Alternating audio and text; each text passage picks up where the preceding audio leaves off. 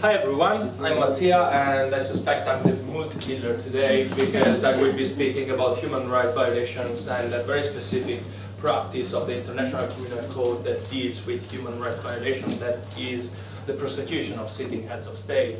Now Albert Einstein said um, and blamed governments for human rights violations in the 20th century and he was right.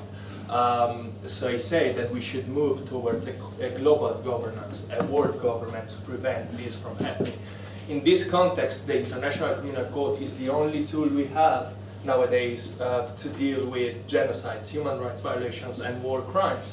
And it's incredibly important to investigate how the International Criminal Court is dealing with them.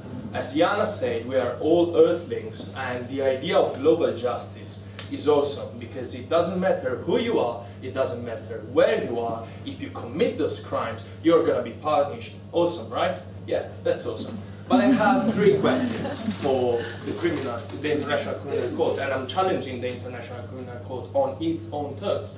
So, is the International Criminal Court marginalizing criminals? Is the International Criminal Court promoting democracy? Is the International Criminal Court sustaining the work of NGOs? Now, marginalizing criminals means that they will be put in jail and they will not be able to replicate those crimes. Easy enough. Uh, promoting democracy is a less explicit way to say that if governments are not allowed to crush political opposition, this will lead to a more democratic environment. And this is one of the stated aims of the Rome Statute, which is the underpinning treaty of the International Criminal Court. Third, the International Criminal Court is the torchbearer of a world government. As such, it should sustain the work of civil society groups, such as NGOs, um, Amnesty International, um, Médecins Sans Frontières, and so forth. Overall, the aim is to prevent this from happening, to prevent genocides from happening, to prevent human rights violations from happening, uh, to deter the recurrence of international crimes um, and to allow the Smurfs or uh, the UN peacekeeping mission uh, to protect civilians in those countries who need it the most. Now, I had these three questions in mind, and these two guys were indicted by the ICC, Uhuru Kenyatta and Omar al-Bashir. They are still presidents of Kenya and Sudan nowadays, and they've uh, enjoyed a huge uh, boost in popular support since the warrants of release, uh, the warrants of arrest were released. So the ICC is not delivering on the marginalization of international criminals, and this is because they were able to exploit a neo-imperialist, neo-colonialist narrative to raise the, to make the people support them.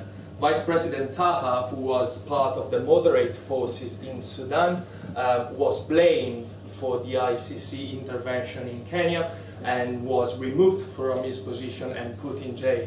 Different story for William Ruto, who was opposing Uhuru Kenyatta in Kenya, but because the ICC indicted them both, what um, Kenyatta said was like, let's make an alliance, win the election, escape prosecution. And that happened in 2013.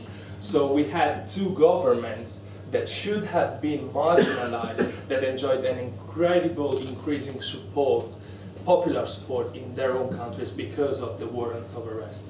Um, the third point was about NGOs, and this is a picture of the Sudanese NGOs that had to replace um, Amnesty International in Sudan because 25 NGOs were kicked out the night after the release of warrants of arrest against al-Bashir. 525 NGOs were kicked out of Kenya in 2013 because allegedly they were cooperating with the court. So the government, authoritarian government, decided to kick them all out. Kenya, these NGOs provided for 70% of Kenyan needs on food and stuff. Um, in terms of casualties, you have to trust me on that, but there has, there has been a huge increase of both conflicts since the ICC intervened in those conflicts, and a huge increase of episodes of violence against civilians because the governments retaliated against civilians for ICC action. So on this, the Smurfs did not a good job. Thank you for this. Um, so is the ICC delivering on its own mandate on the practice of indicting sitting heads of state and prosecuting them, uh, while judges speak about the importance of international law, the bodies keep piling up. Thank you.